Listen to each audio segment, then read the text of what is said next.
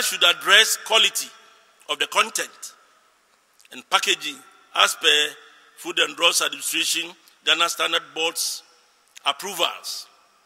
I therefore challenge the packaging industries to allow locals to source their packaging materials and needs outside.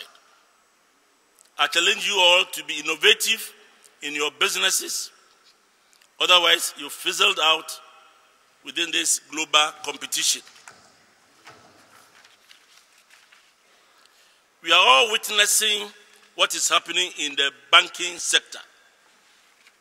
Could you imagine that one could deposit and withdraw money from a wall called ATM, the paperless clearing of goods from the harbor, digital land documentation.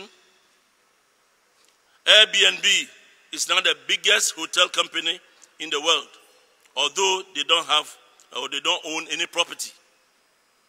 Uber services is currently challenging taxis in the transport business. Online marketing of products and services making selling from premises virtual.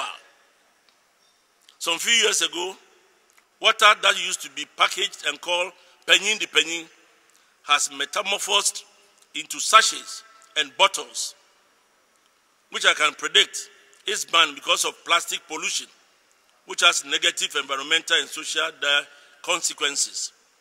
In Ghana, many companies in the aviation industry, poultry, furniture, assembly of laptops and textile industries have translucented into dusk and are no more.